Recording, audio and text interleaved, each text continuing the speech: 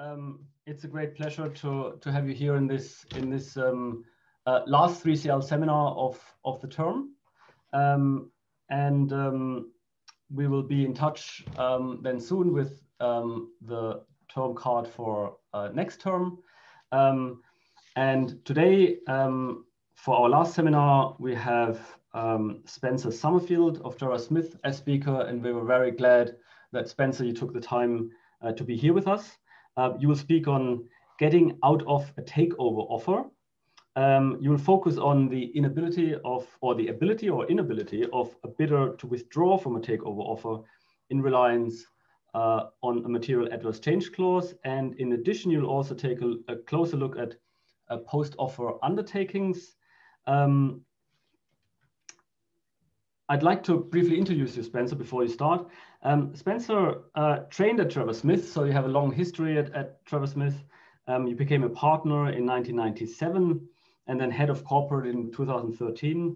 Um, you have a, a, broad corporate practice, which is probably um, also an effect of you being head of corporate. Um, but your principal areas of work are uh, corporate finance, including mergers, acquisitions and disposals, flotations and underwritings, uh, also corporate joint ventures and general corporate advice. Um, you are listed as a leading individual in both uh, Chambers and Partners and Legal 500, where you described, and I, and I quote, you're incredibly knowledgeable and an impressive operator. Now, Spencer, you can tell us whether you know being a great operator also includes uh, operating Zoom, or whether this was before uh, uh, the lockdown and the other events.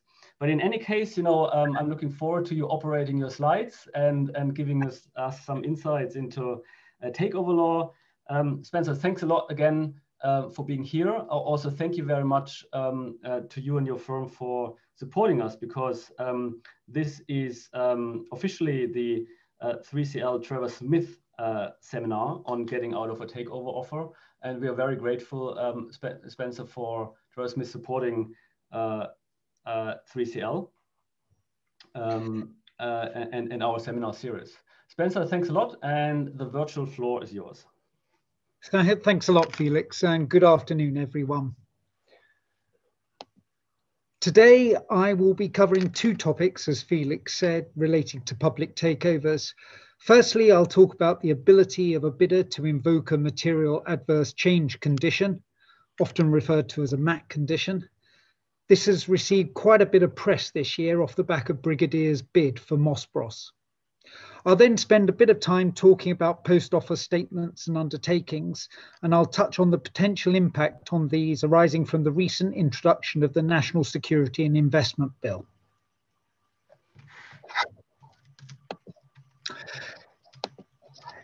If you look at any public takeover offer, with the exception of a mandatory offer under Rule 9, it will include a general MAC condition purporting to entitle the bidder to withdraw its bid if, after announcement of the offer, a material adverse change occurs to the business or prospects of the target group.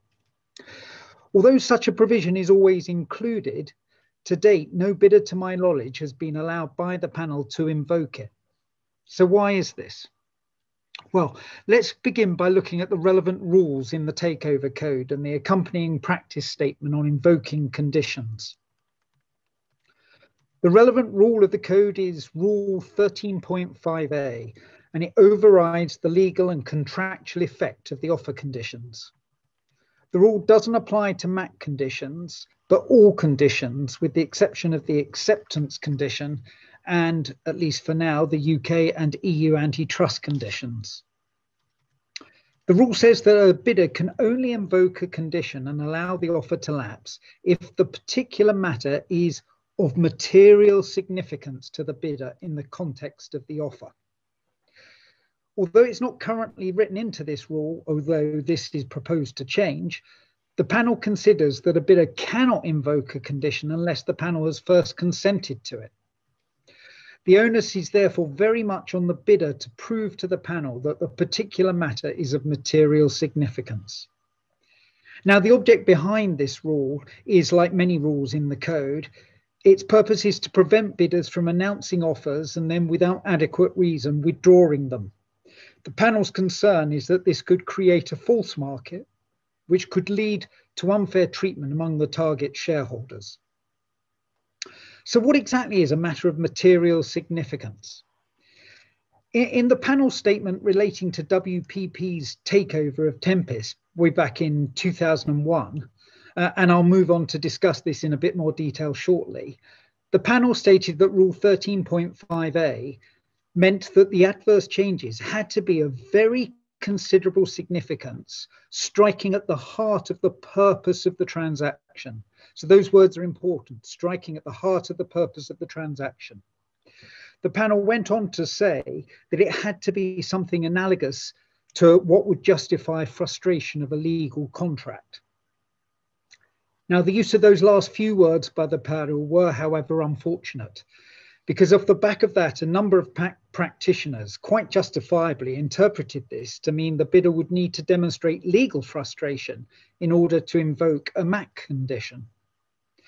To clarify things, in April 2004, the panel published panel statement number five on invoking conditions and said that this interpretation of legal frustration went too far. They said, whilst the bar is high, the test does not require the bidder to demonstrate frustration in a legal sense. The appropriate test is whether the circumstances upon which the bidder is seeking to rely are of material significance to that bidder in the context of the offer, which must be judged by reference to the facts of each case at the time the relevant circumstances arise, i.e., the panel won't be making any hypothetical determinations in advance. The panel also repeated in practice statement number five the test that they had laid down in WPP and Tempus that the bidder had to demonstrate that the relevant circumstances struck at the heart of the purpose of the transaction. Practice statement number five was subsequently amended by the panel in 2009. The panel added a paragraph to the effect that in assessing whether a condition can be invoked, the panel would take into consideration other relevant factors, including whether the condition was specifically negotiated between the bidder and the target, whether the condition was withdrawn to the sorry was drawn to the attention of the target shareholders in the 2.7 announcement and offer document, and finally whether the condition was drafted so that it was specific to the circumstances of the target. So those are the written rules laid down by the panel on invoking conditions. Let's turn now to look at the rulings which the panel have made when bidders have tried to invoke the MAC condition on a takeover. There have over the last 30 years been three bidders who have tried, all unsuccessfully, to do this. The first bidder was WPP in relation to its bid for Tempus. Tempus was an advertising agency whose business was very reliant on generally positive economic conditions. Let, us look at the timeline that's on the screen. So on the 20th of August, WPP announced a competing offer for Tempus. In fact, another company, Havas Advertising, about a month earlier, had made a recommended offer for WP for, for Tempus, but WPP had trumped that bid by 10p, and therefore the Tempus board was now recommending WPP's bid. On the 10th of September, WPP posted the offer document, and on the 11th of September, the horrendous terrorist attacks uh, of 9 11 in the States occurred. On the 17th of September, WPP made purchases of Tempus shares I'll mention that in a bit more detail in a second. On the 2nd of October, WPP's offer became unconditional as to acceptances, and WPP extended its offer until the 15th of October. 10th of October, WPP announced that it was seeking a ruling from the panel to get out of the bid, invoking its MAC condition. 22nd of October, to protect its position, WPP announced its offer would remain subject to the conditions it was trying to invoke, but was otherwise unconditional and extended its offer further. 24th of October, panel ruled that WPP couldn't invoke the MAC. 25th of October, WPP announced an appeal, and on the 1st of November, the panel dismissed the appeal. In reaching its decision not to permit the MAC condition to be invoked, the following points were made by the panel in their statement. They considered that the statement previously made by the panel back in 1974 was still good. A change in economic or industrial conditions, which may suggest that a proposed acquisition will not be as advantageous for a bidder, is one of the hazards that must be accepted and will not normally justify the withdrawal of an offer. The 9 11 events were exceptional and unforeseeable, but they did not undermine the rationale for WPP's offer, which was based on Tempus's long term prospects. A temporary effect on profit, profitability was not sufficient, it had to be long lasting. The panel also noted that the conduct of WPP in making market purchases of Tempus shares after the 9 11 attacks may have acted as a signal to the market that WPP intended to proceed with the offer. Although in this instance, the panel did not need to consider this point any further, as WPP had failed by some way to demonstrate that the events went to the heart of the transaction.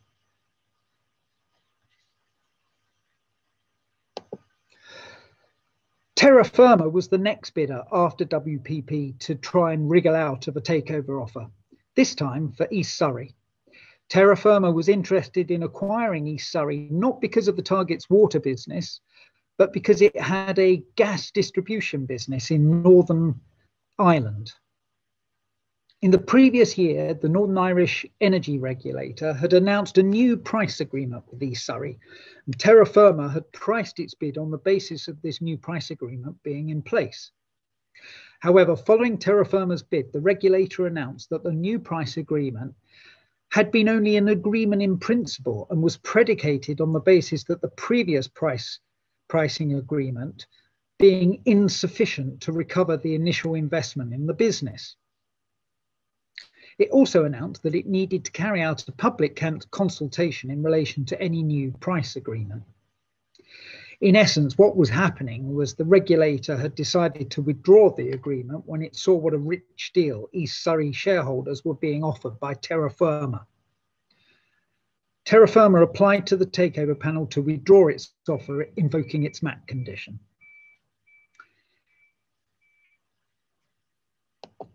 In a very short panel statement, just one page long, the panel said that it had had extensive discussions with all the parties involved. And whilst it accepted that the withdrawal of the new pricing agreement by the regulator was unforeseen, it concluded that these developments were not of sufficient substance to permit the withdrawal of the bid. Although there is little detail of the reasons why the panel reached their conclusion, I think what is clear is that East Surrey still had a viable gas distribution business in Northern Ireland, as well as a perfectly good water business in East Surrey. Also, the regulator confirmed that it remained open to exploring appropriate arrangements with East Surrey for its future pricing regulation. The consistent is therefore consistent with the WPP Tempus ruling, as the withdrawal of the new pricing agreement did not go to the heart of the purpose of the transaction, albeit Terra Firma had priced the bid on the basis that the new pricing agreement would be in place. The takeover was simply not so attractive for Terra Firma as they had thought. The last bidder to try and extricate themselves from a bid by invoking a MAC condition was Brigadier in relation to its offer for Moss Bros, which happened earlier this year. Let's go through the timeline.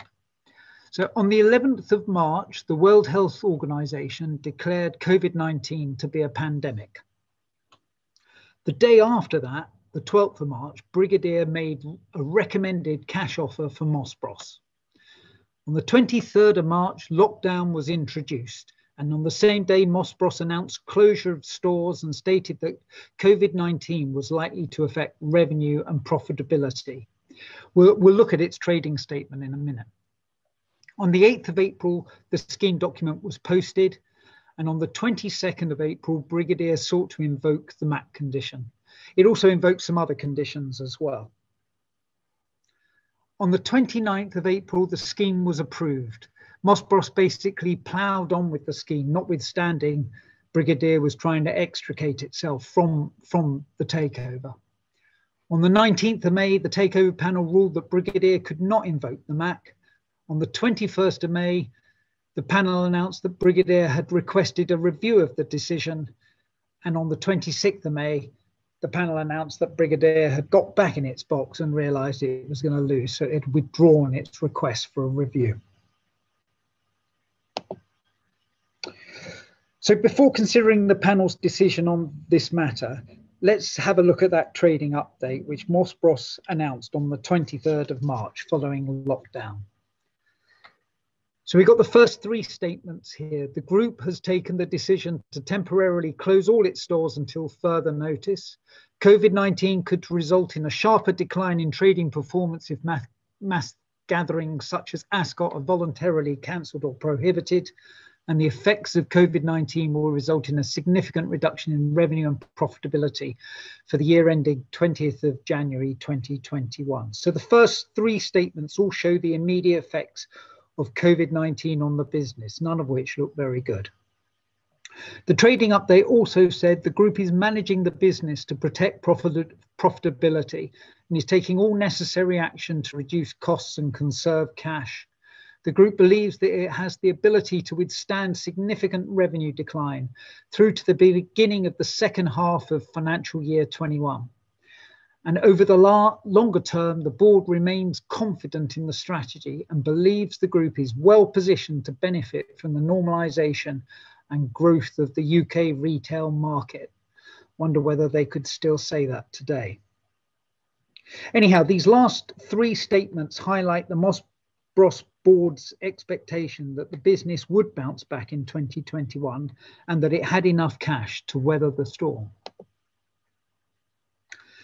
Although the panel statement on the Brigadier Moss Bros takeover is very brief, the matter has been openly discussed by a number of those concerned. The first thing the Brigadier tried to establish was that the impact of COVID 19 struck at the heart of the purpose of the transaction. Central to Brigadier's case was that the events after 12th of March were sufficiently materially adverse that Moss Bros might not survive lockdown. And even if it did, the strategic turnaround planned by the bidder would be virtually impossible to implement. Moss Bros successfully rebutted the specific arguments which Brigadier put forward, arguing that the long-term prospects of the business had not been compromised and that Brigadier was merely speculating on the future impact of COVID-19. They cited their trading update made on 23rd of March, confirming that they expected the business to bounce back in the second half of 2021. The panel concluded that Brigadier had not established the long term impact on the business and therefore, consistent with the approach adopted in WPP and Tempus and Terra Firma and East Surrey, did not consider the materiality test to have been met. In addition to assessing the material significance of the circumstances, the panel also looked at foreseeability and the conduct of Brigadier. The day before the 2.7 announcement, as I said, the World Health Organization had declared COVID 19 a worldwide pandemic, and a number of countries had already declared full or partial lockdown.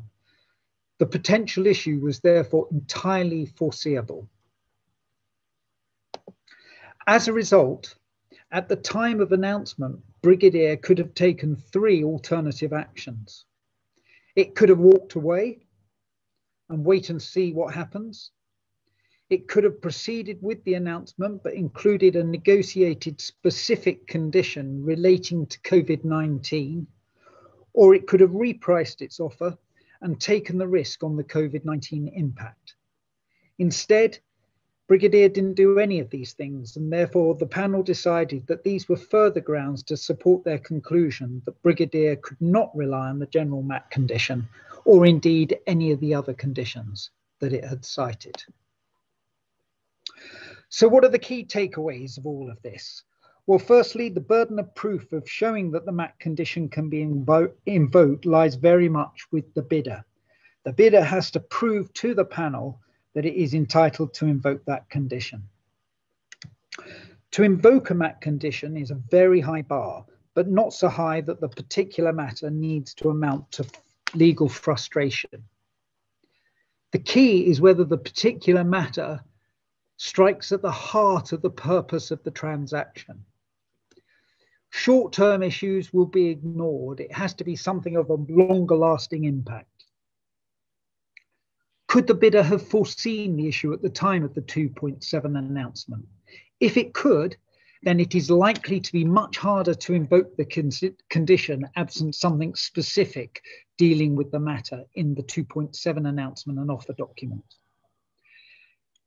Has the bidder done anything since the particular matter arose which might suggest to the market that it does not intend to invoke the MAC condition like WPP did on Tempus by buying further shares in the market. And finally, was the MAC condition drafted specifically for the target and was it drawn to the attention of the target shareholders, just like practice statement number five suggests? If yes, then the bidder still needs to show the particular matter has a material significance, but the panel is likely to be more inclined to permit such a MAC condition to be invoked. The panel is currently consulting on various changes to the takeover code, some of which relate to the ability to invoke conditions. The proposed changes, if implemented, should not have a fundamental impact on the panel's practice to date. However, it's worth noting that the panel is proposing to expressly add to practice statement number five a couple of new factors to be taken into account when determining whether a condition can be invoked. The first new factor proposed is foreseeability. However, the panel have said that this factor will not be determinative, and the fact that a particular outcome was foreseeable will not necessarily exclude the possibility of the panel consenting to a condition being invoked, if, for example, the likelihood is remote. The second new factor proposed is the action taken by the bidder after the occurrence of the circumstances under which the bidder wants to invoke a condition. The examples the panel give are Has the bidder bought shares in the target or made statements to the market indi indicating an intention to continue to pursue the offer? The third new factor proposed relates to the views of the target board. If the target board is agreeable to the offer lapsing, this will be very influential upon the panel although it's difficult to see circumstances, particularly on an all cash takeover offer, where a target board will want to give consent if something disastrous has happened to its business. That's all I wanted to say on MAC conditions. Um, let's just turn for 10 minutes and have a look at post offer intention statements and post offer undertakings. First, a bit of background to put this into context. The takeover code was amended in 2015 and again in 2018 to introduce a two tier regime with the con concepts of post offer undertakings and post offer intention statements. The changes to the code were prompted by two high profile takeovers which focused political attention on how statements made by a party to a takeover offer could ultimately be enforced. First, there was Kraft's takeover of Cadbury, during which certain assurances were reportedly made by Kraft as to their future plans for Cadbury's Somerdale factory, which was subsequently closed down. Second, during the course of Pfizer's aborted offer for AstraZeneca, Pfizer wrote a letter to the then Prime Minister, David Cameron, providing assurances about their plans to headquarter the combined entity in the UK. So the slide on screen sets out the definition of post-offer intention statements. This is a non-binding statement. However, it must be an accurate statement of the party's intention at the time that it is made and made on reasonable grounds. If a party giving such a statement decides to depart from its statement in the 12 months after the end of the offer period, it must consult with the panel and, if necessary, make a public announcement of the course of action it's taken. At the end of the 12 month period, the bidder must confirm whether it has taken the course of action. In contrast, you've got post offer undertakings. The key aspect of the undertaking regime is that the undertaking is legally binding, and a party making a post offer undertaking will be held to it. As you can see from this slide, there are several key requirements. The party giving an undertaking must comply with its terms for the time period specified. For example, keeping a manufacturing facility open for a period of years and must complete the action committed to by the date specified in the undertaking. The undertaking must be specific and precise, and it must be readily understandable and capable of objective assessment. This is required to make it easier for the panel to ensure enforcement.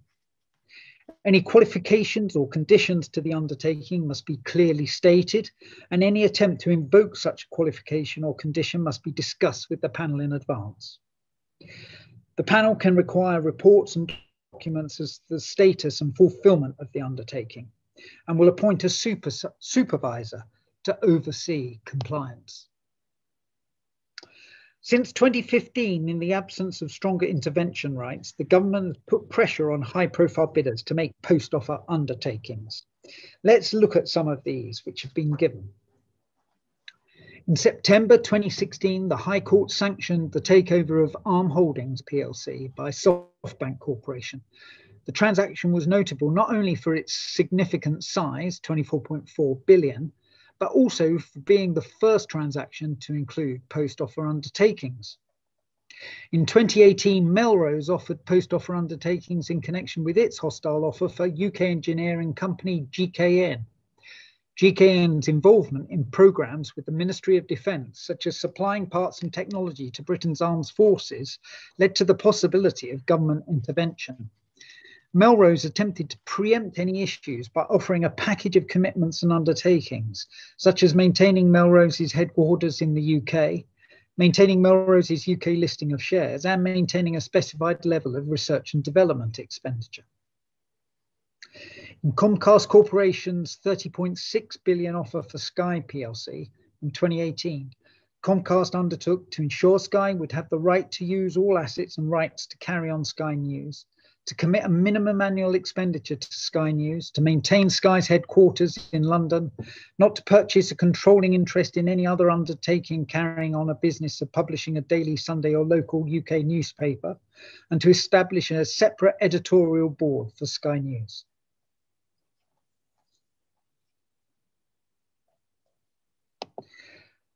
The National Security and Investment Bill has been introduced by the UK government in order to bring into existence a freestanding national security screening regime.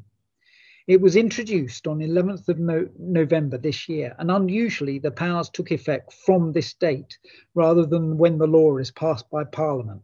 The idea being to avoid a rush of takeovers to try and preempt the bill. It will broaden the range of investments which can be reviewed by the UK government on national security grounds and introduce a statutory requirement for parties to notify relevant transactions in the most sensitive areas of the economy. Alongside a mandatory requirement, the government will also have a more extensive call-in power to enable it to assess deals which may give rise to national security risks. In each case, the review process will be subject to statutory time limits. The NSI bill is being introduced because the government considers that its existing national security review powers set out in the Enterprise Act 2002 are no longer fit for purpose. In particular, the Enterprise Act powers limit the number of sectors which the government can scrutinise. For example, critical infrastructure is largely out of scope. They involve a lengthy and costly statutory review process, which imposes significant burdens on the government, and they limit the types of the types of deals which can be scrutinized. For example, mere asset acquisitions cannot be re reviewed by the government under the Enterprise Act 2002. It remains to be seen whether increased powers to challenge inward investment will decrease reliance on post offer undertakings as a means of controlling foreign investment in politically or strategically sensitive areas. For what it's worth, I think post offer undertakings will still be encouraged by the government in high profile takeovers by foreign bidders, where the NSI bill, which is limited to national security risks, is not quite enough to get the government to what they want. That's all I have. Uh, I'm now very happy to take any questions.